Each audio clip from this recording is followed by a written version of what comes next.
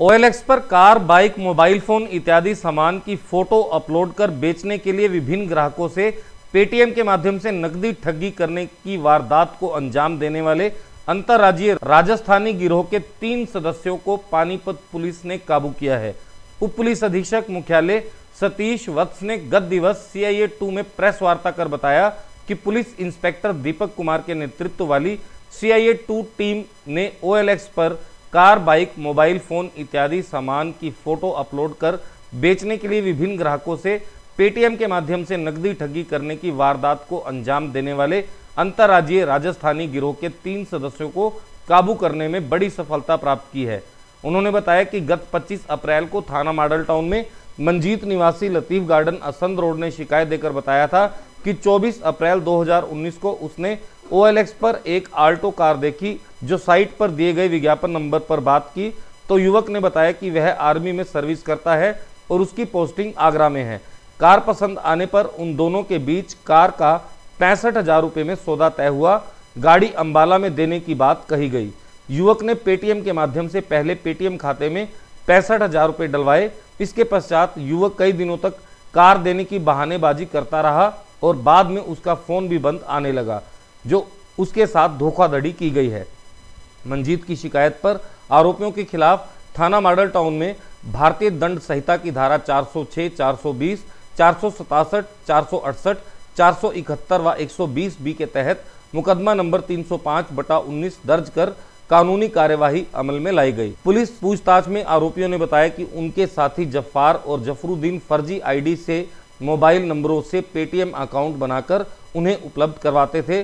और योजना के अनुसार ओएलएक्स पर विभिन्न सामानों तथा वाहनों की फ़ोटो डालकर फर्जी मोबाइल नंबरों से बने फर्जी पेटीएम अकाउंट में नकदी मंगवाकर ठगी की वारदात को अंजाम दिया जाता था।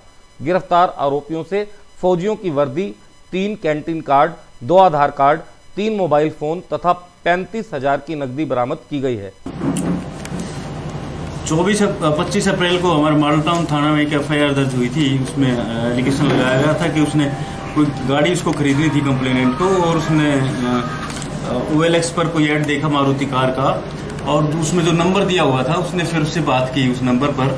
तो उस जो सामने नंबर वाला था, उसने उससे बात की और अपनी बातों में लेकर और उसको अपनी गाड़ी की तारीफ़ करके अपनी बातों में लेके एक फर्जी उसको पेटीएम का नंबर दे दिया और उसमें पैंसठ हज़ार रुपये उसके उससे जमा करवा दिए। लेकिन जो उसको समय और जगह दी गई थी, वहाँ पर ना गाड़ी मिली, ना उसके कोई पैसे वापस मिले। तो ये एफआईआर हमने दर्ज की थी मॉडल टाउन थाने में। तो उसकी उसमें सफलता हमारी सी आई टू की टीम ने प्राप्त की पंद्रह मई को एक उसका साजिद नाम के लड़के को गिरफ़्तार किया इसमें अपनी साइबर की मदद से। उसके नंबर को ट्रैक करके साइबर की मदद से एक मुख्य आरोपी को गिरफ़्तार किया। और इसमें तीन आरोपी अभी तक गिरफ़्तार हो चुके हैं। ये अलवर राजस्थान के रहने वाले हैं। साजिद वाहिद और सोनू। पंद्रह तारीख को साजिद को गिरफ़्तार किया गया था, उन्नीस तारीख को वाहिद को, और उसके बाद जैसे जैसे इन्वेस्टिगेशन चलती गई, उसी क्रम में तेईस तारीख को सोनू उर्फ़ नीलू को गिरफ़्तार किया गया। इसमें आरोपी जो साजिद है, मुख्य आरोपी, उसके पास तीन फर्जी फौजियों के आई कार्ड मिले हैं, कैंटीन के कार्ड, क्योंकि ये अपने आप को फौजी बताते थे ताकि कस्टमर को विश्वास हो जाए। दो आधार कार्ड, दो मोबाइल फ़ोन और पैंतीस हज़ार रुपये और वाहिद से सात हज़ार रुपये इसको, इसके हिस्से में आए थे, लेकिन इसने खर्च कर दिए बरामद नहीं हो सके। और सोनू, जो आरोपी है, बारह हज़ार रुपये बरामद करने के लिए उसका पुलिस रिमांड लिया गया है। ये वो अभी रिमांड के दौरान से यही सारी इन्वेस्टिगेशन करेंगे कि कौन कौन उसमें और इन्वॉल्व है, कहाँ ये कार्ड बनवाते थे। तो ये सारी चीज़ें इन्वेस्टिगेशन के दौरान आएँगी।